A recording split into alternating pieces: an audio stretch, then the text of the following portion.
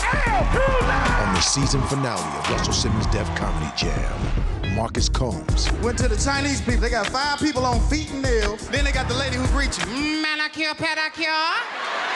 Come on, come on, come on. Alex Scott, You ever drove on suspended license so long you forgot it was suspended?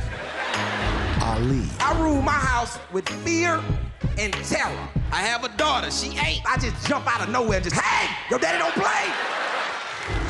Chris Thomas. I went to a strip club last night. First dance I've ever seen had moles all over her body from her head to her toe. When they brought out, they say, here she is. Chocolate chip. Y'all ready to keep this thing going? DL Hughley hosts Russell Simmons' Def Comedy Jam, season finale next Sunday night at 10:35.